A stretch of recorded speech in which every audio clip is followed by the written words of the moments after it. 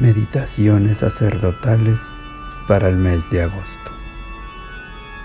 Contemplemos. Lo que mucho perjudica a mis sacerdotes es la falta de estudio, esa ciencia inagotable que nunca deben abandonar. Los libros santos y buenos son la salvación de los sacerdotes, y el amor a ellos los librará de muchos males. Aparte de que un sacerdote debe ser instruido y completo en sus estudios, para poder aconsejar acertadamente, y solo por servir a Dios y a las almas. Estos estudios constantes, repito, lo librarán de peligros sin cuento. Pero en la ciencia también hay escollos y peligros para el orgullo, sobre todo en la poca ciencia.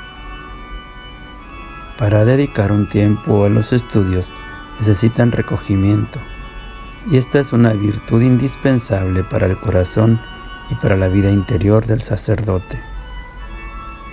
La disipación mata a la inteligencia o la amortigua para el estudio y entorpece la voluntad. En su trato exterior, debe el sacerdote ser amable y sencillo, todo para todos, pero ha de conservar el recogimiento interior y la presencia de Dios. Hemos de seguir orando en todo tiempo por la santificación de los sacerdotes y el aumento de las vocaciones sacerdotales.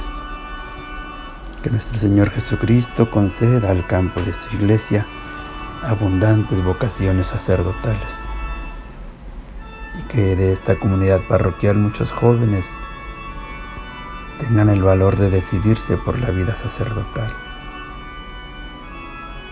Paz y bien.